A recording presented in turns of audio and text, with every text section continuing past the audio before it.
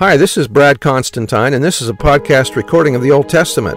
Although this is not an official recording of the Church of Jesus Christ of Latter day Saints, every effort's been made to be as doctrinally accurate as possible.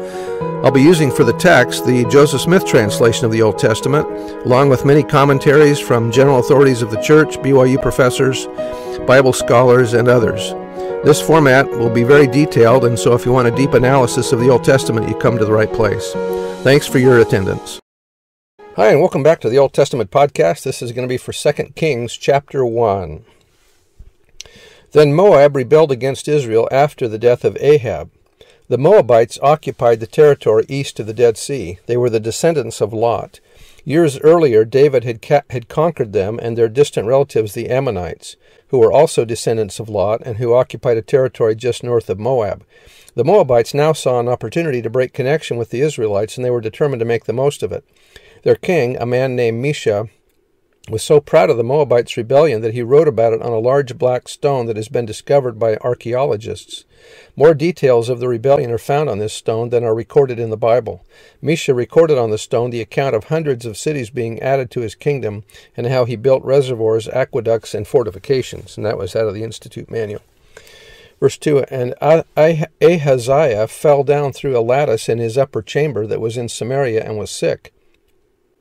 And he sent messengers and said unto them, Go inquire of Baalzebub, the god of Ekron, whether I shall recover of this disease. But the angel of the Lord said to Elijah the Tishbite, Arise, go up to meet the messengers of the king of Samaria, and say unto them, Is it not because there is, a, there is not a God in Israel that ye go up to inquire of Baalzebub, the god of Ekron?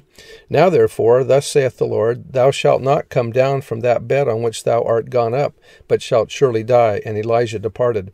And when the messengers turned back unto him, he said unto them, Why are ye now turned back? And they said unto him, There came a man up to meet us, and said unto us, Go, turn again unto the king that sent you, and say unto him, Thus saith the Lord, Is it not because there is not a God in Israel that thou sendest to inquire of Baalzebub, the god of Ekron? Therefore thou shalt not come down from that bed on which thou art gone up, but shalt surely die. And he said unto them, What manner of man has he was he which came up to meet you and told you these words? And they and they answered him, He was an hairy man, uh, and girt with a girdle of leather about his loins. And he and he said, It is Elijah the Tishbite. Then the king sent unto him a captain of fifty with his fifty, and he sent up to him, and behold, he sat on the top of a hill, and he and he spake unto him, Thou man of God, the king hath said, Come down. And Elijah said, or answered, and said, said to the captain of fifty, If I be a man of God, then let fire come down from, out of heaven, and consume thee and thy fifty. And there came down fire out of heaven, and consumed him and his fifty.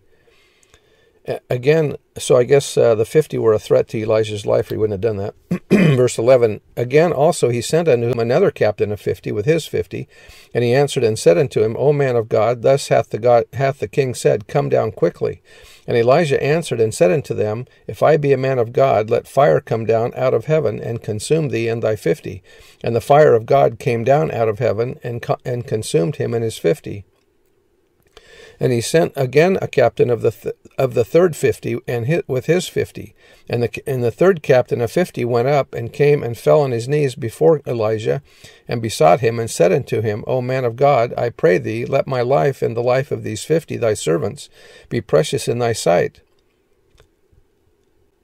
Behold, notice he asks him to come down gently this time, right? Not demanding. But behold, there came fire down out of heaven and burnt up the, the two captains of the of the former fifties with their fifties. Therefore, let my life now be precious in thy sight.